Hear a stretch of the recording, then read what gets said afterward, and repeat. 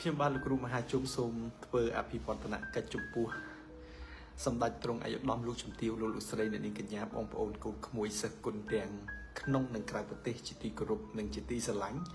ថ្ងៃនេះលោកគ្រូនឹងមកជួបជាមួយនឹងកូនចៅសិស្សគុណជាថ្មីម្ដងទៀតដើម្បីទូទាយនៅជោគជតារាសីប្រចាំថ្ងៃជូនដល់កូនចៅសិស្សគុណទាំងអស់ដែលកើតនៅឆ្នាំទាំង12ជូតឆ្លូវខោថោះរោងម្សាញ់មមីមមែវករកាចគុល បាទឆ្នាំទាំង12លោកគ្រូមើលជូនទាំង12ឆ្នាំតែម្ដងថាតើថ្ងៃស្អែកនេះរាសីរបស់អស់លោកអ្នកឡើងចុះធ្លាក់ឬមួយក៏មិនឈយំឬមួយក៏យ៉ាងណា ហើយយើងមានលេខសំណាងលេខអីខ្លះហើយយើងប្រើពណ៌អីដែលជាពណ៌ហេងដែលជាពណ៌នាំឲ្យយើងមានហុងស៊ុយដែលជាពណ៌នាំឲ្យយើងរកស៊ីមានបានទី1ជូតណាកូនចៅណាបាទឆ្នាំជូតគឺជូតរាសីថ្ងៃស្អែកនេះមិនឡើងមិនចុះមិនឈយំ បាទជូតរាសីមធ្យមចំណែកឯលេខសំណាង គឺលេខ714បាទពណ៌សំណាងមានពណ៌លឿងបាទពណ៌សំណាងពណ៌លឿងបាទអញ្ចឹងកូនចៅប្រុសស្រីដែលកើតនៅឆ្នាំជូតគឺអឺលោកអ្នកដែលកើតឆ្នាំជូតរាសីរបស់អស់លោកអ្នកគឺមធ្យមលេខសំណាងលោកអ្នកកើតឆ្នាំជូតគឺលេខ714ពណ៌សំណាងគឺពណ៌លឿង កូនចៅដែលកើតឆ្នាំជូតសូម comment លេខ714ហើយក៏សូមជួយ share នៅវីដេអូលោកគ្រូមហាជុំដាក់លេខ714ដូចគ្នានោះលោកអ្នកនឹងមានលៀបនោះលោកអ្នកនឹងមានជ័យហើយលោកអ្នកប្រាថ្នានៅកិច្ចការអីគឺបានសម្រេចដោយសេចក្តីបំណងពងប្រាថ្នារិស័យលោកអ្នកកើតឆ្នាំជូតនៅថ្ងៃស្អែកនេះគឺមុខរបរលក់ដូររកស៊ីកិច្ចការងារប្រចាំថ្ងៃ គឺដំណើរការទៅធម្មតាมันមានបងខាតអីទេហើយក៏มันមានលៀបមានជ័យអីដែរបានន័យថាដំណើរកិច្ចការរបស់យើងគឺប្រព្រឹត្តទៅដោយល្អប្រព្រឹត្តទៅដោយរលូនมันខាតបងទេហើយក៏มันមានផលចំណេញច្រើនដែរមិនថាអ្នកលក់ដូរមិនថាអ្នករកស៊ីមិនថាមន្ត្រីរាជការមិនថាបុគ្គលិកក្រុមហ៊ុនសាធារណៈឬមួយក៏ជាអ្នកណាទេគឺ កិច្ចការងារប្រចាំថ្ងៃនៅថ្ងៃស្អែកនេះសម្រាប់លោកអ្នកដែលកើតនៅឆ្នាំជូតគឺដំណើរការទៅដោយរលូនมันមានអីដែលរាំងស្ទះទេ ហើយក៏มันមានការបង្ខាតដែរសម្រាប់លោកអ្នកដែលកើតឆ្នាំជូតពាក់ព័ន្ធជាមួយនឹងកិច្ចការងាររកស៊ីប្រចាំថ្ងៃកិច្ចការងារលក់ដូរ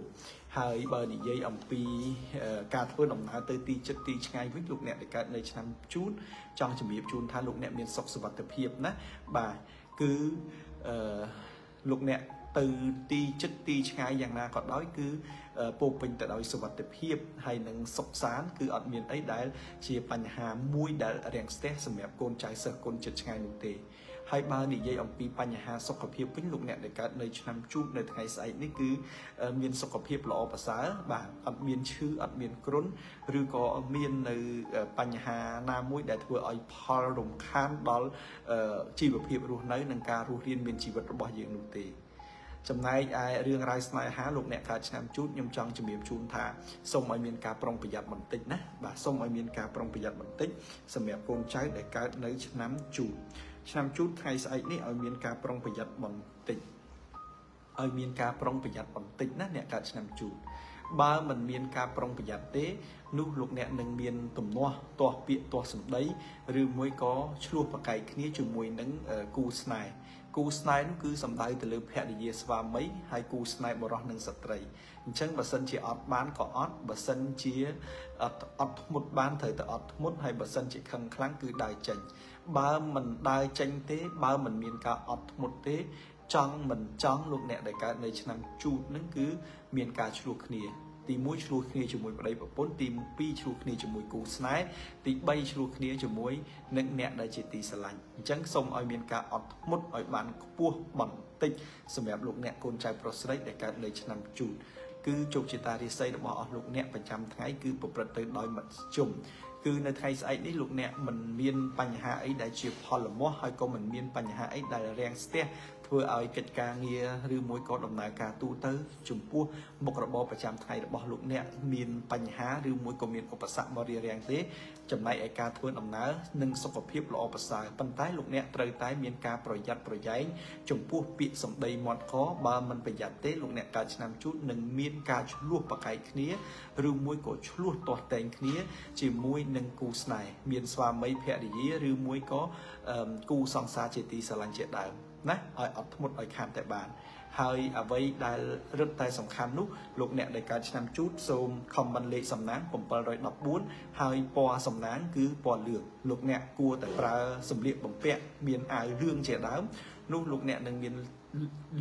លៀបជ័យលោកអ្នកនឹងជោគជ័យឆ្នាំជូតគឺជាឆ្នាំល្អប្រចាំថ្ងៃស្អែកអញ្ចឹងលោកគ្រូសូមជូនពរជូនជ័យដល់កូនចៅសិស្សគុណចិត្តឆ្ងាយទាំងអស់ដែលកើតនៅឆ្នាំជូតសូមឲ្យមានលៀបសូមឲ្យមានជ័យសូមទេវតាទាំង10000លោកធាតុតាមថែរក្សាបីបាច់បីបំភ្នំថែកូនចៅដែលកើតនៅឆ្នាំជូតឲ្យទទួលបានលៀបឲ្យទទួលបានជ័យហើយឲ្យលោកអ្នកប្រាថ្នានៃកិច្ចការអីឲ្យទទួលបាននៅផលល្អផលជាទីគប់ចិត្តចាប់ពីពេលនេះតរៀងទៅ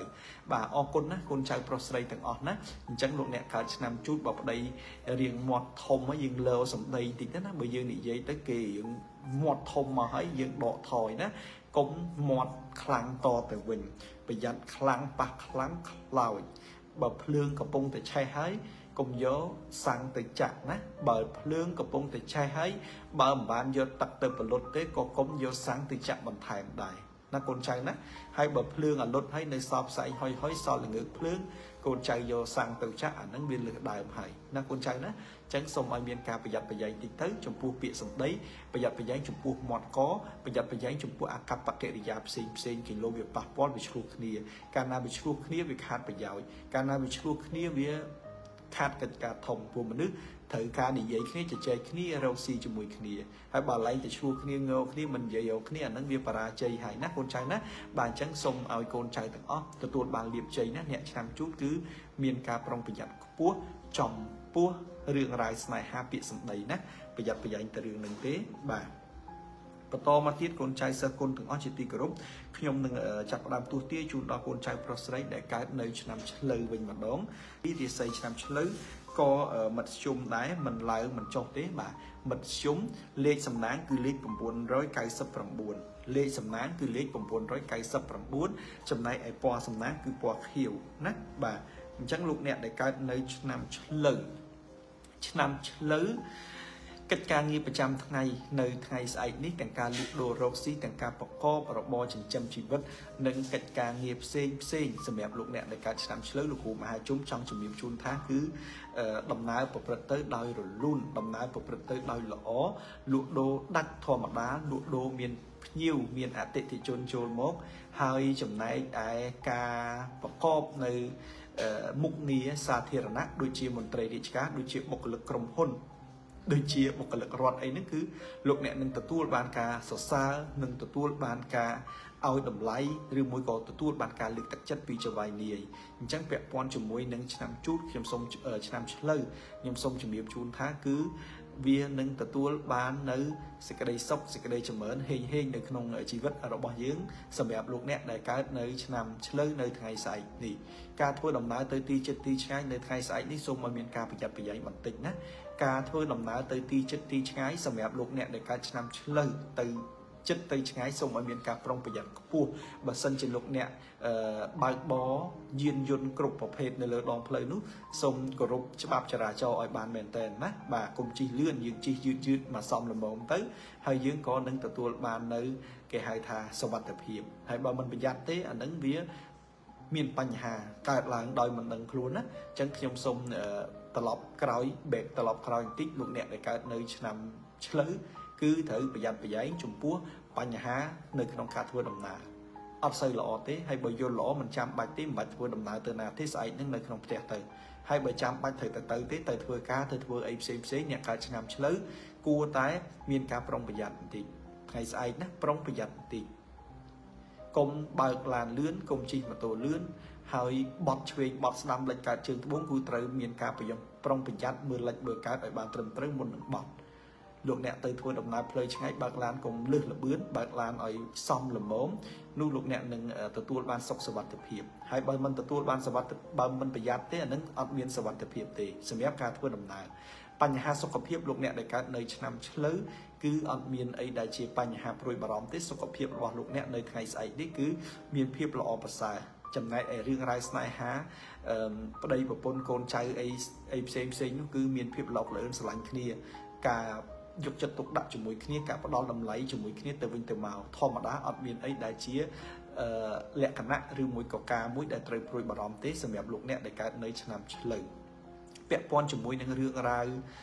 ស្នេហាវិញគឺលោកគ្រូបានជំរាបជូនមិញហើយគឺល្អប្រសើរផ្អែមល្ហែមមានការស្វែងយល់គ្នា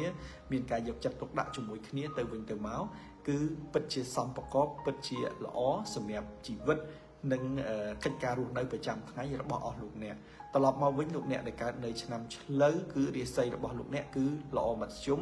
ពណ៌សំណាងពណ៌ខៀវលេខសំណាង999កិច្ចការងារអ្វីអ្វីគ្រប់យ៉ាងគឺល្អប្រសើរណាស់ប៉ុន្តែសូមឲ្យប្រុងប្រយ័ត្នបន្តិចចំពោះការធ្វើដំណើរនៅលើដងផ្លូវកូនចៅណាបាទបើមិនប្រយ័ត្នទេលោកអ្នកមិនសូវជាល្អទេណាបាទប្រយ័ត្នប្រយែងឲ្យខានតបានទៅមិនចាំបាច់ទេដេកនៅផ្ទះណាកុំចេញទៅណាប៉ុន្តែបើសិនជាចាំបាច់អានឹងចេញទៅប៉ុនចេញដោយប្រុងប្រយ័ត្នណាបាទលោកអ្នកដែលកើតឆ្នាំឆ្លូវ comment លេខ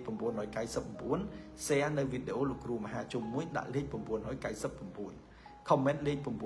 999 share វីដេអូលោកគ្រូមហាជុំដាក់លេខ999គ្រូមហាជុំសូមជូនពរជូនជ័យ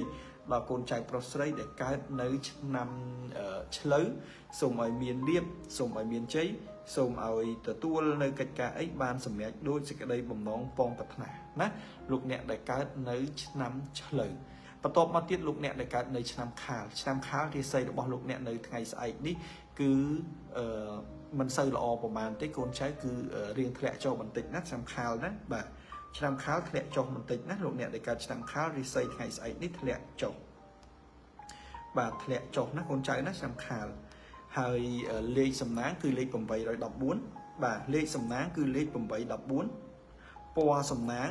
បាទពណ៌សំណាងគឺពណ៌ក្រហម អញ្ចឹងលោកអ្នកដែលកើតនៅឆ្នាំអឺខាលគឺលោកអ្នកសូម comment លេខ814ហើយពណ៌សំណាងគឺពណ៌ក្រហមណាបាទនៅថ្ងៃស្អែកនេះកិច្ចការងារទូទៅរបស់លោកអ្នកការងាររកស៊ីលក់ដូរការធ្វើកិច្ចការផ្សេងផ្សេងលោកអ្នកដែលកើតឆ្នាំថោះនេះគឺមានឧបសគ្គរាំងស្ទះគឺមិនសូវជាល្អប្រមាណទេ ហើយបើសិនជាការលក់ដូរគឺអាចជួបនឹងផលខាតបងខាតដើមអីចឹងណាបាទហើយក៏ សូមឲ្យមានការប្រុងប្រយ័ត្នខ្ពស់បន្តិចណានៅថ្ងៃស្អែកនឹងប្រយ័ត្នចាញ់បោកគេណាបាទកិច្ចការងារប្រចាំថ្ងៃកិច្ចការងារផ្សេងផ្សេងសម្រាប់លោកអ្នកដែលកើតនៅឆ្នាំអឺខាលគឺប្រព្រឹត្តទៅមិនសូវល្អប្រហែលទេ គឺប្រព្រឹត្តទៅដោយគេហៅថាប្រយ័ត្នប្រយែងបើមិនប្រយ័ត្នទេចាញ់បោកគេ បើមិនប្រយ័ត្នទេខាតបង់ណាលោកអ្នកកើតឆ្នាំខាលសូមឲ្យមានការប្រុងប្រយ័ត្ន បើមិនប្រយ័ត្នទេខាតបង់បើមិនប្រយ័ត្នទេនឹងឆ្លោះធ្លួយមានការអឺគេហៅថា ខាតបង់ហើយចាញ់បោកគេទៀតបញ្ហាលុយកាក់បញ្ហាលក់ដូរអីសូមឲ្យមានការគិតហើយមានការពិចារណាឲ្យបានខ្ពស់ណាបាទអញ្ចឹងកិច្ចការងារអីសូមឲ្យមានការប្រយ័ត្នណាលោកគ្រូមិនមែនថាមកទូទាញនេះដាក់បណ្ដាសារឬមួយក៏ថាអីឲ្យកូនកូនទេប៉ុន្តែ កូនកូនដែលកើតឆ្នាំខាលថ្ងៃស្អែកនេះប្រយ័ត្នឲ្យបានខ្ពស់ការពារប្រសើរជាងព្យាបាលហើយវាជារឿងមួយដែលល្អដែលលោកគ្រូមហាជុំបានជំរាបជូនលោកអ្នកកូនចៅសិស្សគុណអំពីការប្រុងប្រយ័ត្នអញ្ចឹងលោកអ្នកក៏មានការប្រុងប្រយ័ត្នទៅចំពោះការធ្វើដំណើរទៅទីចិត្តទីឆ្ងាយលោកអ្នកដែលកើតនៅឆ្នាំខាលគឺអត់មានបញ្ហាអីទេលោកអ្នកអញ្ជើញទៅទីណាក៏បានដែរអត់អត់មានអីដែលដែលហាមឃាត់ទេបញ្ហាសុខភាពគឺល្អប្រសើរអត់មានអីទេ ណាអត់ឈឺអត់គ្រុនហើយក៏អត់មានអីដែលជាបញ្ហាមករាំងស្ទះដែរចំពោះរឿងរ៉ាវស្នេហាវិញ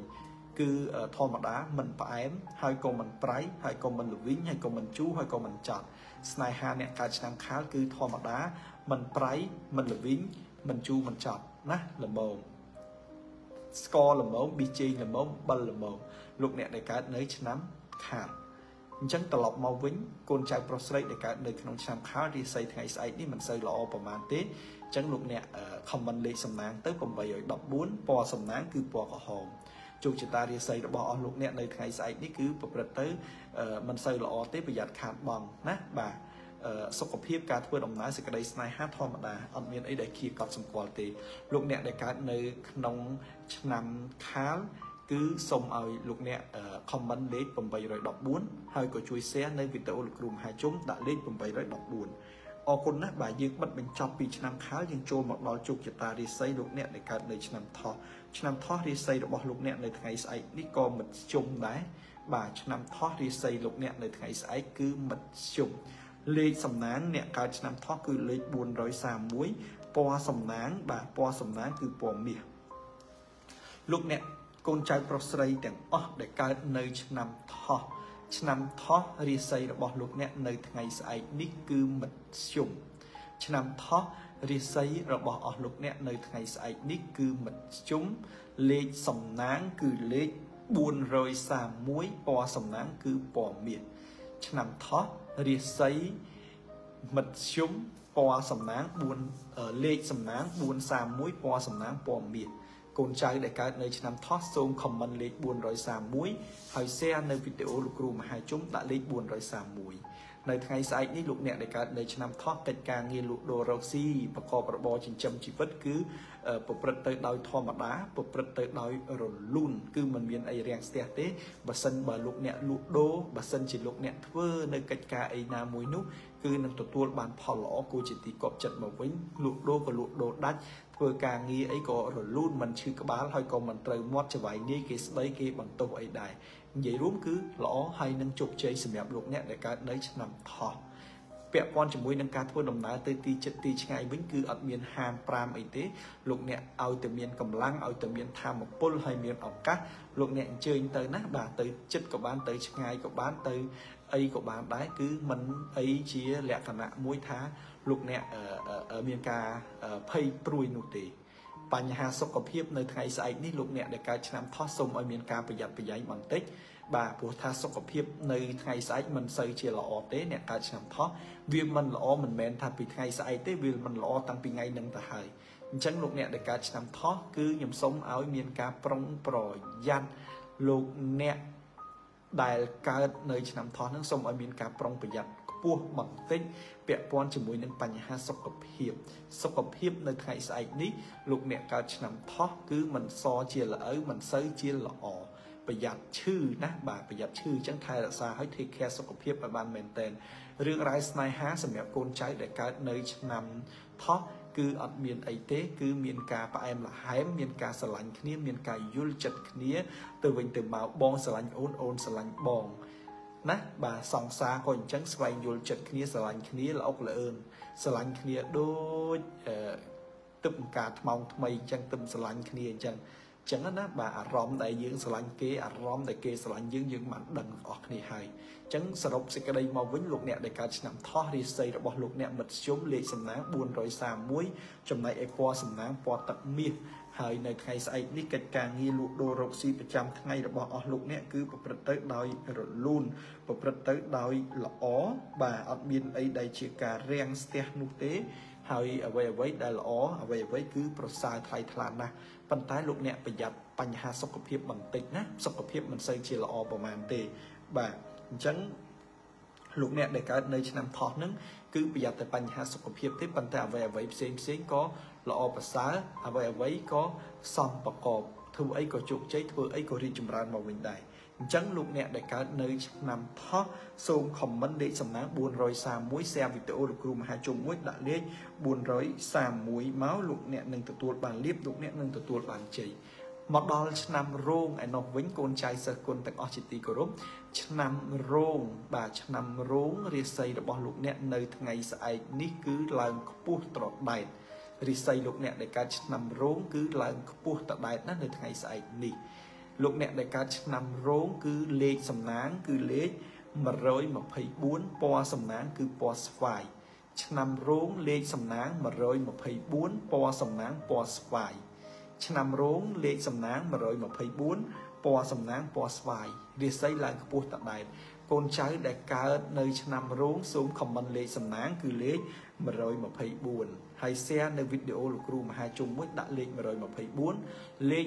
124គឺជាលេខលៀបលេខ124គឺជាលេខលេខជ័យសម្រាប់បងប្អូនកូនចៅសិស្សគុណទាំងអស់ណាបាទឆ្នាំរោងនៅថ្ងៃស្អែកនេះលោកគ្រូចង់ជម្រាបជូនដល់កូនចៅសិស្សគុណទាំងអស់ឲ្យបានជ្រាបថាកិច្ចការងារលក់ដូររកស៊ីប្រចាំថ្ងៃកិច្ចការងារជំនួញជួញដូរកិច្ចការងារជាមន្ត្រីរាជការជាបុគ្គលិកក្រុមហ៊ុនឯកជនបុគ្គលិកនៅស្ថាប័នសហគ្រាសណាក៏ដោយ គឺលោកអ្នកមានលៀបគឺលោកអ្នកមានជ័យណាបើនិយាយពីអ្នកលក់ដូរលក់ដាច់មានភ្ញៀវមានអតិថិជនចូលគាំទ្រច្រើន ហើយក៏រកស៊ីទទួលទានមានបានអារម្មណ៍ស្រស់ស្រាយសប្បាយចិត្តទទួលលៀបទទួលជ័យធ្វើការបានចវាយនាយធ្វើការកោតសរសើរឲ្យកាដូណាបាទអ្នករកស៊ីក៏លក់ដាច់ហេងហេងលក់ឆាប់អស់ហើយបានផលចំណេញច្រើន ចំណែកឯការងារផ្សេងផ្សេងដែលរាំងស្ទះអីនោះក៏ អាចប្រព្រឹត្តទៅដោយរលូនប្រព្រឹត្តទៅដោយល្អមានលៀបមានជ័យហេងហេងហើយការធ្វើដំណើរទៅទីចិត្តទីឆ្ងាយសម្រាប់លោកអ្នកដែលកើតនៅឆ្នាំរោងលោកគ្រូចង់ជំរាបជូនថាគឺ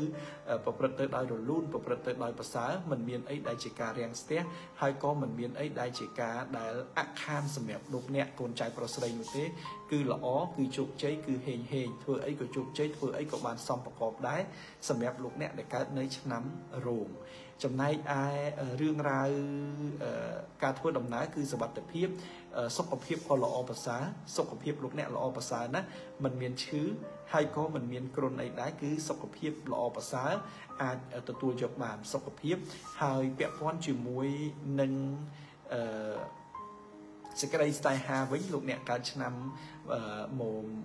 រោងគឺមានដំណើរល្អស្រឡាញ់គ្នា ចេះយកចិត្តទុកដាក់ជាមួយគ្នាចេះអធិស្ឋានឲ្យគ្នាទៅវិញទៅមកហើយក៏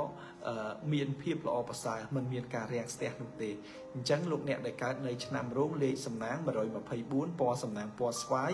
លោកអ្នកនឹងទទួលបានលៀបលោកអ្នកនឹងទទួលបានជ័យហើយលោកអ្នកប្រាថ្នានៅកិច្ចការងារអីគឺបានសម្រេចដោយក្តីបំណងពងប្រាថ្នាកូនចៅប្រុសស្រីសូមខមមិនលេខ124ហើយក៏ share នៅវីដេអូលោកគ្រូមហាជុំដាក់លេខ124នោះលោកអ្នកមានលៀបនោះលោកអ្នកមានជ័យហើយលោកអ្នក ធ្វើអីក៏បានកាក់កបដែរទាំងក្តីស្នេហាទាំងការរកទទួលទានគឺសំប្រកបគឺល្អហេងហេងគ្រប់យ៉ាង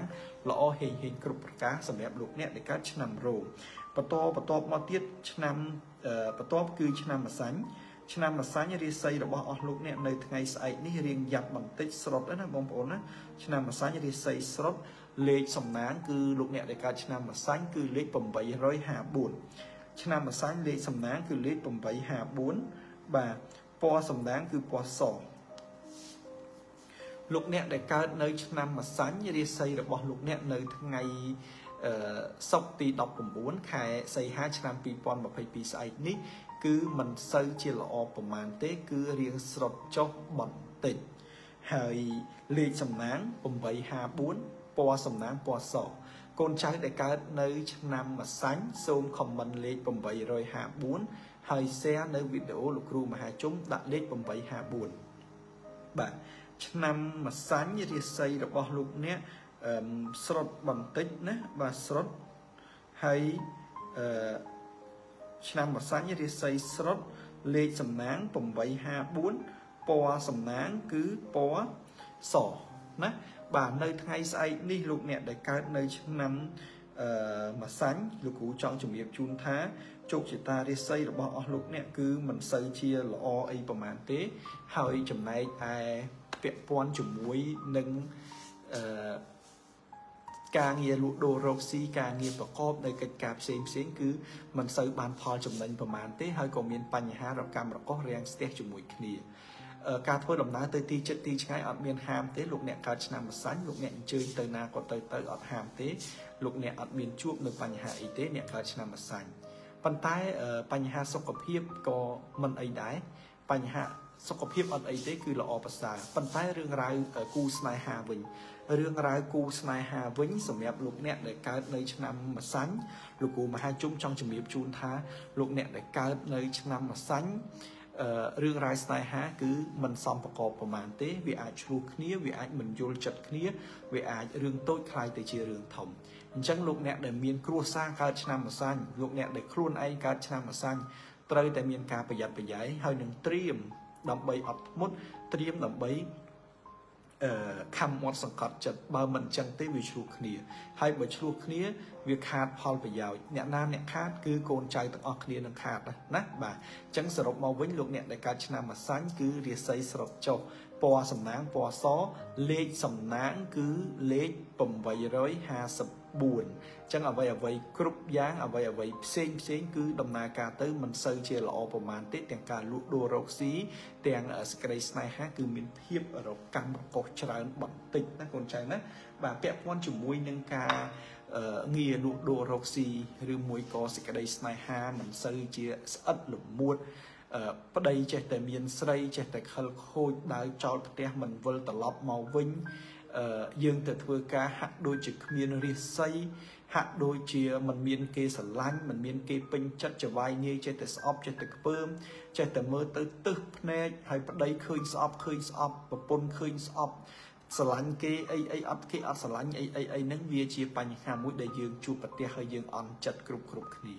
អញ្ចឹងពេលដែលលោកអ្នកកំពុងតែជួបនៅបញ្ហាទាំងអស់នឹងហើយ គឺលោកអ្នកមានការព្រួយបារម្ភហ្នឹងទាំងគេទាំងខ្ញុំណាប្តីដែលជាទីស្រឡាញ់អោបនឹងដើមទ្រូងបែកឆ្វេងទៅរលិចរកើតរជើងរត្បូងហើយចវាយនាយអ្នកកន្លែងធ្វើការគេនាំគ្នាព្រួតស្អប់គេអត់ស្រឡាញ់គេនាំគ្នាព្រួតស្អប់ព្រួតធ្វើបាបយើងអីអីអីចឹងទៅ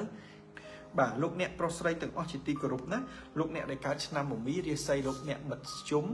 ពណ៌សំណាងគឺពណ៌ខ្មៅលេខសំណាង756កូនចៅដែលកើតនៅឆ្នាំមមី សូមលោកអ្នក share វីដេអូលោកគ្រូដាក់លេខ756ហើយក៏អឺ comment លេខ756ពណ៌សំណាមពណ៌ខ្មៅណានៅថ្ងៃស្អែកលោកអ្នកដែលកើតនៅឆ្នាំមមីកិច្ចការងារលក់ដូររកស៊ីប្រចាំថ្ងៃរបស់អស់លោកអ្នកគឺប្រព្រឹត្តទៅដោយធម្មតាដោយរលូនមិនមានការខាត់បងហើយក៏មិនមានការចំណេញអីឲ្យច្រើនដែរប៉ុន្តែលោកអ្នកធ្លាប់លក់ដាច់ប្រមាណគឺលក់បានប៉ុណ្ណឹងលោកអ្នកធ្លាប់ធ្វើអីគឺធ្វើបានដូចបំណងអញ្ចឹងអត់មានអីដែលជាបញ្ហាដែលដែលជាការរាំងស្ទះហើយក៏ជាបញ្ហាមួយដែល ធ្វើឲ្យយើងមានការព្រួយបារម្ភនោះទេលោកអ្នកកើតឆ្នាំមមីកិច្ចការងារលក់ដូររកស៊ីកិច្ចការងារប្រចាំថ្ងៃឬមួយក៏កិច្ចការងារផ្សេងផ្សេងផ្សេងនោះគឺទទួលបានផលល្អផលជាទីគាប់ចិត្តសម្រាប់លោកអ្នកដែលកើតនៅឆ្នាំមមីពាក់ព័ន្ធជាមួយនឹងការធ្វើដំណើរទៅផ្លូវចិត្តផ្លូវឆ្ងាយវិញលោកអ្នកដែលកើតឆ្នាំមមីលោកគ្រូចង់ជម្រាបជូនថាគឺមានសុខសុវត្ថិភាពទាំងទៅទាំងមកគឺអត់មានអីដែលជាបញ្ហាដែលលោកអ្នកធ្វើឲ្យមានការរាំងស្ទះនោះឡើយ ពាក់ព័ន្ធជាមួយនឹងរឿងសុខភាពគឺសុខភាពរបស់លោកអ្នកល្អប្រសើរអត់អីទេហើយបើនិយាយពីរឿងរ៉ាវស្នេហាក៏មានភាពផ្អែមល្ហែមស្រឡាញ់គ្នាមានការយល់ចិត្តគ្នាដែរអញ្ចឹងត្រឡប់មកវិញលោកអ្នកដែលកើតនៅឆ្នាំមមីរាសីរបស់អស់លោកអ្នកគឺឡើងមធ្យមលេខសំណាងគឺលេខ756ពណ៌សំណាងពណ៌ខ្មៅគឺអត់មានអីទេណាបាទសំប្រកបល្មមដែលអាចទទួលយកបានបើទោះបីជាមិនមានលៀបមិនមានជ័យអីក៏ដោយបាទបន្តមកទៀតលោកអ្នកដែលកើតនៅឆ្នាំមមែ មួយម៉ែរាសីរបស់អស់លោកអ្នកនៅថ្ងៃស្អែកនេះគឺខ្ពស់បាទឡើងខ្ពស់តដែតលេខសំណាងសម្រាប់លោកអ្នកដែលកើតឆ្នាំមួយម៉ែគឺលេខ946បាទពណ៌សំណាងលោកអ្នកដែលកើតឆ្នាំមួយម៉ែថ្ងៃស្អែកនេះគឺពណ៌លឿងបាទលឿងណាបាទលោកអ្នកដែលកើតនៅឆ្នាំមួយម៉ែលេខសំណាងគឺលេខ946ពណ៌សំណាងគឺពណ៌លឿងលោកអ្នកដែលកើតនៅឆ្នាំមួយម៉ែ លេខសំណាងគឺលេខ746ពណ៌សំណាងគឺពណ៌លឿងលោកអ្នកដែលកើតឆ្នាំមួយម៉ែថ្ងៃស្អែកនេះបើកភ្នែកឡើងលុយហូរចូលបើកភ្នែកឡើងមានលៀបបើកភ្នែកឡើងមានជ័យណាបាទបើកភ្នែកឡើងលុយហូរចូលបើកភ្នែកមកមានលៀបបើកភ្នែកមកមានជ័យលោកអ្នកប្រាថ្នាឲ្យរកស៊ីអ្វីអ្វីគឺបាន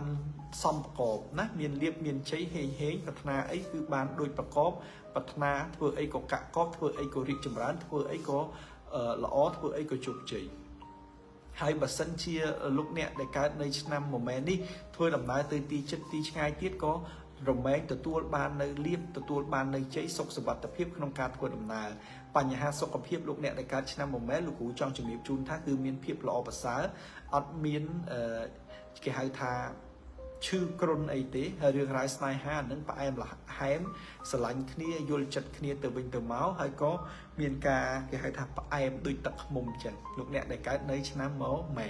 ចឹងត្រឡប់មកវិញលោកអ្នកដែលកើតឆ្នាំមកម៉ែរាសីរបស់លោកអ្នកឡើងខ្ពស់ត្រដែតលេខសំណាងគឺលេខ746ពណ៌សំណាងគឺពណ៌លឿងជោគជ័យហេងហេងគ្រប់យ៉ាងទាំងអស់ណាបាទស្រីមុំឆ្នាំរោងឆ្នាំកូនគឺល្អដូចគ្នាណាបាទអញ្ចឹងជូនពរជូនជ័យដល់កូនចៅប្រុសស្រីដែលកើតនៅឆ្នាំមមែគឺឲ្យមានលៀបឲ្យមានជ័យឲ្យមានសំណាងលោកអ្នកកើតឆ្នាំមមែខមមិនលេខ946លោកអ្នកកើតឆ្នាំមមែ share វីដេអូដាក់លេខ946នោះលោកអ្នកមានលៀបនោះលោកអ្នកនឹងមានជ័យ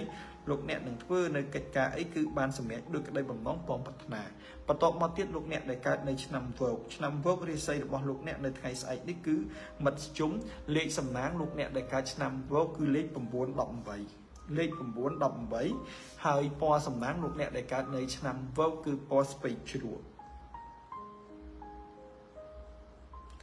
លោកអ្នកដែលកើតនៅឆ្នាំវោកលោកគ្រូចង់ជំរាបជូនថាឆ្នាំវោករាសីរបស់អស់លោកអ្នកនៅថ្ងៃស្អែកនេះគឺមធ្យមលេខសំណាង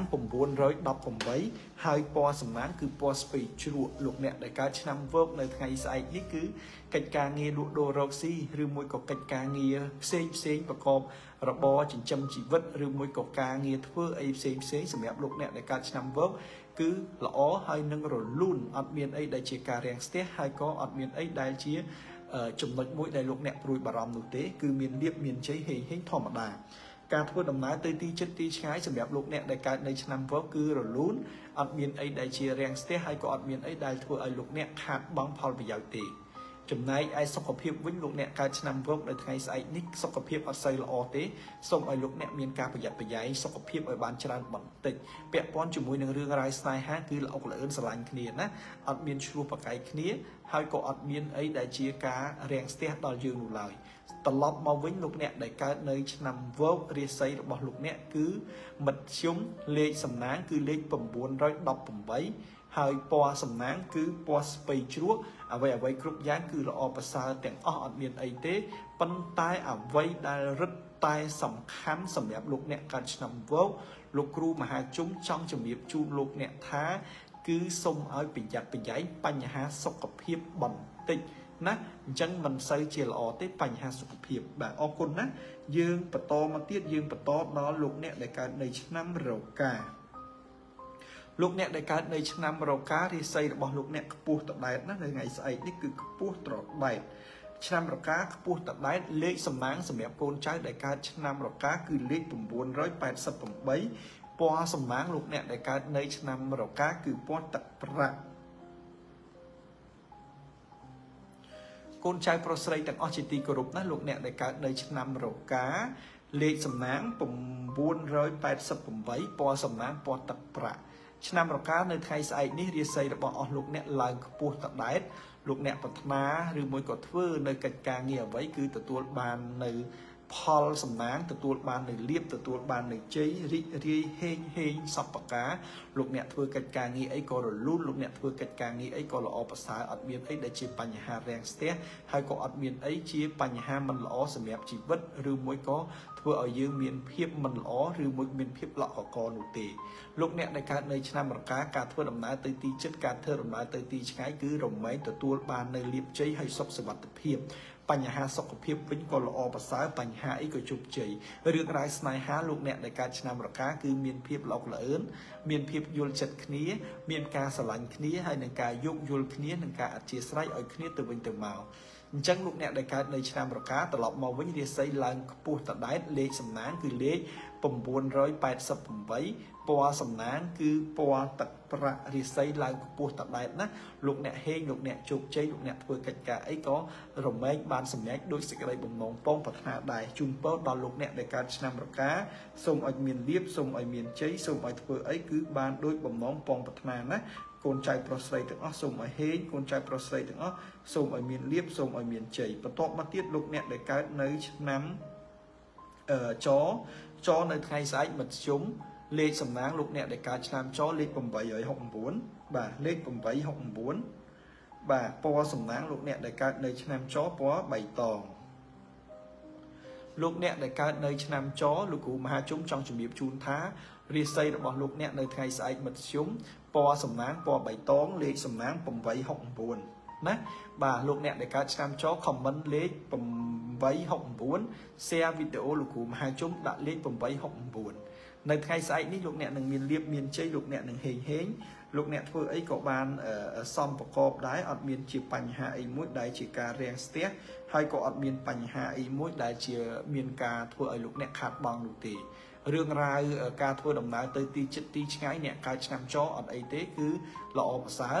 ចំណែកឯលោកអ្នកដែលកើតនៅឆ្នាំចនេះទៀតសោតនៅក្នុងបញ្ហាសុខភាពអត់អីទេល្អប្រសើរប៉ុន្តែសេចក្តីស្នេហាក៏ក៏មិនសូវជាល្អប្រហែលទេ លោកអ្នកកើតនៅឆ្នាំអឺកុលស្នេហាសូមប្រយ័ត្នប្រយែងតិចអត់សូវល្អល្អឿនមួយគ្នាប្រហែលទេថ្ងៃស្អែកនេះវារៀងល្អកកវារៀងឆ្លោះប្រកែកគ្នាវារៀងយល់ចិត្តគ្នាមិនសូវល្អអញ្ចឹងលោកអ្នកដែលកើតនៅឆ្នាំចលេខសំណាងគឺ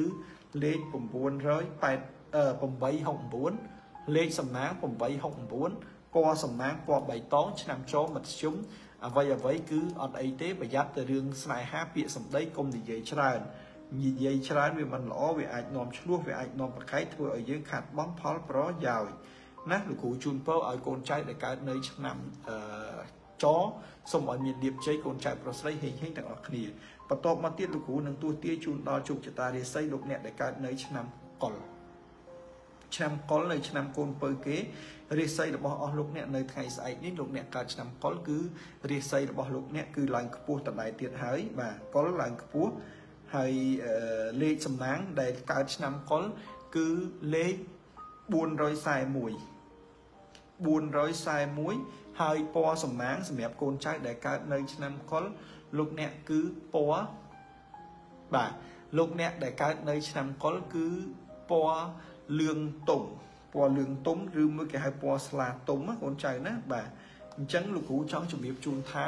លោកអ្នកដែលកើតនៅឆ្នាំកុលរាសីរបស់លោកអ្នកនៅថ្ងៃស្អែកនេះឡើងខ្ពស់ត្រដែតលេខសំណាង441ពណ៌សំណាងពណ៌លឿងទុំលោកអ្នកដែលកើតនៅឆ្នាំកុលសូមខមមិនលេខ441ហើយក៏ share នៅវីដេអូលោកគ្រូមហាជុំដាក់លេខ441 លោកអ្នកនាងកញ្ញាកូនចៅសិស្សគុណទាំងអស់ជាទីគោរពកូនចៅទាំងអស់ជាទីស្រឡាញ់លោកគ្រូចង់ជម្រាបជូនថារាសីឆ្នាំចឡើងខ្ពស់តដែតនៅថ្ងៃស្អែកនេះលោកអ្នកនឹងមានលៀបមានជ័យហូរចូលកិច្ចការងារលោកដូររកស៊ីប្រចាំថ្ងៃរបស់លោកអ្នកគឺប្រព្រឹត្តទៅដោយល្អប្រសើរប្រព្រឹត្តទៅដោយរលូនចំណែកឯ ការធ្វើដំណើរទៅទីចិត្តទីឆ្ងាយក៏មានសុវត្ថិភាពសុខភាពល្អសេចក្តីស្នេហាវិញមានការយល់ចិត្តគ្នាទៅវិញទៅមកល្អល្អឿនជាមួយគ្នាអ្នកកើតឆ្នាំកុលសូមខមមិនលេខ441ពណ៌សំណាងសម្រាប់លោកអ្នកដែលកើតឆ្នាំកុលកូនពៅគេគឺពណ៌ស្លាទុំឬមួយក៏ពណ៌លឿងទុំអ្វីអ្វីគ្រប់យ៉ាងគឺល្អអ្វីអ្វីគ្រប់យ៉ាងគឺប្រសើរលោកអ្នកមានលៀបលោកអ្នកមានជ័យលោកអ្នកហេងហេងលោកអ្នកធ្វើអីក៏សមប្រកប ទាំងសុខភាពទាំងការធ្វើដំណើរទាំងសេចក្តីស្នេហារីករាយជោគជ័យលោកអ្នកជាទីគោរពណាជោគជតារាសីកូនចៅប្រុសស្រីទាំងអស់ដែលខ្ញុំបានលោកគ្រូមហាជុំបានជំរាបជូនដល់កូនចៅនៅឆ្នាំទាំង12បានដល់ទីបញ្ចប់រួមមានឆ្នាំជូតឆ្នាំឆ្លូវឆ្នាំខាលឆ្នាំថោះឆ្នាំរោងឆ្នាំម្សាញ់ឆ្នាំមមីឆ្នាំមមែឆ្នាំវោកឆ្នាំរកាចកុលបានមកដល់ទីបញ្ចប់ហើយលោកអ្នកដែលកើតឆ្នាំទាំងអស់គឺសិតតែឆ្នាំមានលៀបគឺសិតតែឆ្នាំមានជ័យ សូមឲ្យលោកអ្នកកាន់តែមានលៀបកាន់តែមានជ័យជោគជ័យបន្ថែមទៀតហើយកូនចៅសិស្សគុណប្រុសស្រីដទៃទៀតដែលកំពុងទៅតាមដានទស្សនានេះដែលចូលមកក្រោយក្តីចូលមកមុនក្តីមើលមិនទាន់ក្តីអាចលោកអ្នកពេល live ចប់មើលសារឡើងវិញហើយក៏អាចដឹងអំពីខែឆ្នាំជោគជតារាសីរបស់លោកអ្នកលំអិតផងដែរ